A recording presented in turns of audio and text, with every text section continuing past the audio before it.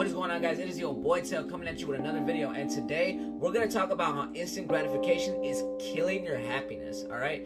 Let me know if you guys missed the style videos. I will return to those very soon. I have a big surprise coming up very soon. Just bear with me, please. But anyways, if you if you guys enjoy men's style, men's lifestyle, please hit that subscribe button. With that being said, let's peek this fit let's get right into the video. Let's go.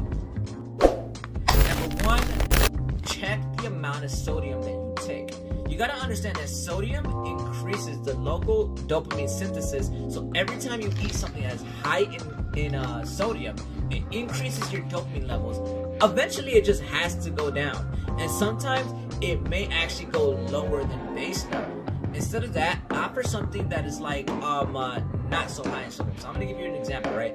If you like Doritos every day, that's my personal favorite. I love Doritos, but just recently I replaced the Doritos every morning with some plantain chips, which are lower in sodium. Now, I did like a little test, right? Not a little test, but I work at a grocery store. I spoke about this in another video, but anyways, I look, I work at a grocery store, and I was looking at that how the even the small like 50 cent bag of chips are like just so high off the roof of sodium. I think the number was 240, or no, 140 percent sodium or something like that. No, no, milligrams of sodium and some plantain chips were 50 mil of you know what I mean of um, sodium and stuff like that.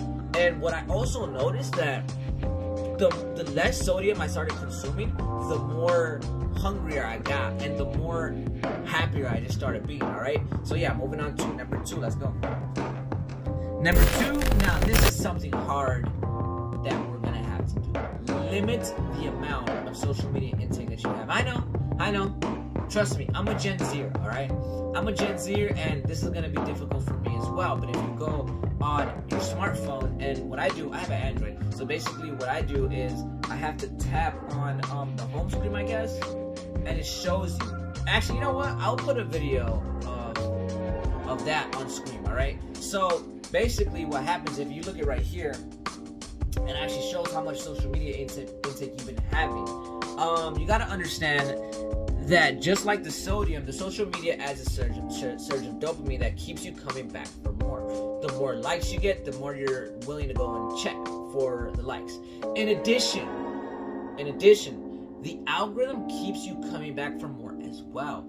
Actually, what I found is that when you're swiping on TikTok or Instagram Reels or, or, or Facebook Reels, whatever the case may be, for whatever reason, you just keep coming back for more and more and more. And the thing is, the algorithm is programmed to keep us divided as a society. You know what I mean? So, me personally, as a guy, I personally get a lot of red pill stuff on my on my freaking algorithm and stuff like that. And at some point, I'm like, all right, bro, like I, I can only watch a few of those videos, and then I just gotta put it aside because it, it, it, it, gives you this toxic mindset that it's like, yeah, you know, screw the matrix. You know what I mean? Like, just just relax on it a little bit, dude. You know what I mean? In addition to this, you gotta understand that social media only shows you 0.1% of a person's life. You know what I mean? So therefore, um, that person will only show a small fraction, not even a small fraction, like just one percent of their actual lives, and then that makes you want to have that expectation for your life to be. You know what I mean? Um, I don't want you guys to fall into that. You know what I mean? Understand that, you know, just keep on pushing. Understand that social media is not real. You know what I mean? Like I said earlier, it only shows you 0.1% of a person's life. And in addition to that, literally, like, it, it only shows, it, it, it, makes it more accessible to the one percenters to, to flaunt their lifestyle and stuff like that. You know what I mean? So, yeah, moving on to number three. Number three, now, this I'm gonna get a lot of flack for this, right? Since I'm a style YouTube channel. Um, you indulge in retail therapy a lot. You know what I mean? Now this one hits close to home because I in, indulge in retail therapy a lot. I mean, look at my closet. I have a lot of clothes right here. You know what I mean? So it's like I indulge in retail therapy. You know what I mean? So, you know, when you buy something and you're expecting it in the mail, that just that that anticipation is just building up. Like, yes, I'm gonna get these new pair of Jordans, or I'm gonna get these new pair of Kohans, or whatever the case may be, right? From my personal experience, I know you guys feel this kind of experience. When you open up the box and you have it in your hand, you take out the shoe or you take out whatever you want, your mind automatically goes to, now what? Now what? You know what I mean? Like, and that leaves you kind of feeling sad because you got to understand that you've built this anticipation of buying something. You're like, yes, I'm gonna get it. I'm gonna do this with this. I'm gonna do that with that, and then it just it's just such an underwhelming feeling. It just it for for whatever reason it just leaves me feeling a little bit like, oh man, all that anticipation for nothing. You know what I mean? So yeah, moving on to the conclusion. Let's go. And finally, to the conclusion. In conclusion, there are things that we do every day that spike up our dopamine to a very dangerous level. And in my opinion, the stuff that I've listed on here are some of the main causes of them.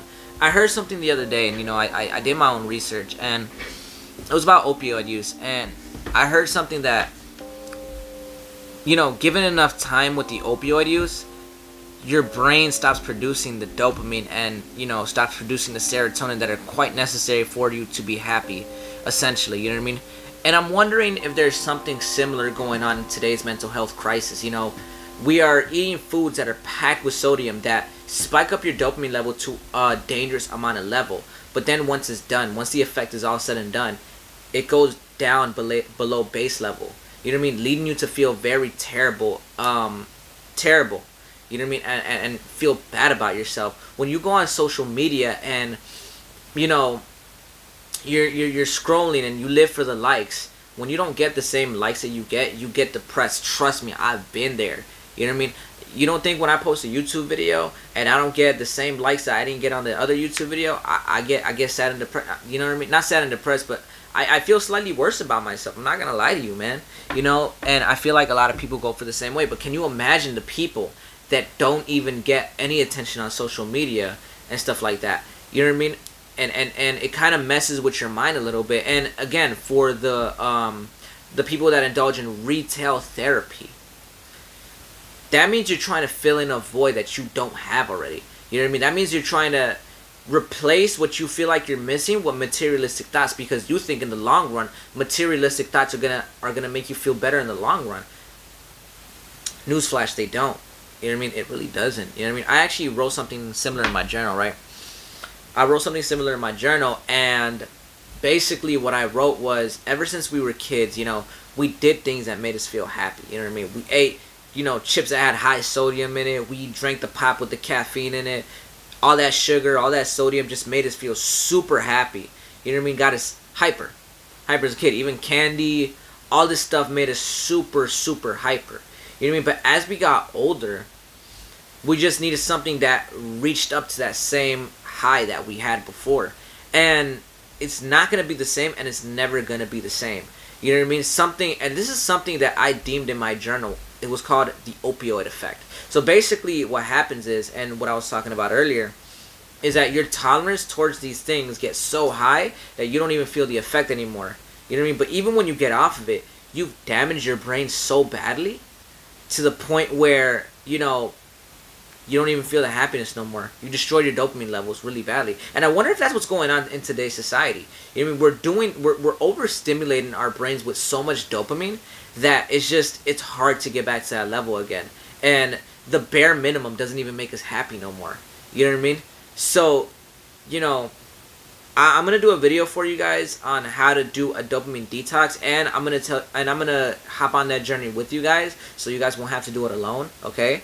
So yeah, you know, just hang in there. You know, try not to be hooked on social media, junk goods, or you know, or social media or anything, man. You know what I mean? Or or or self indulgence. You know what I mean? Just relax. Try to live a humble lifestyle. You know what I mean? So yeah, moving on to the outro. Let's go. Anyways, I hope you guys enjoyed that video. Like, comment, subscribe, do all that good stuff. Do not forget to follow me on Instagram. Teo's out.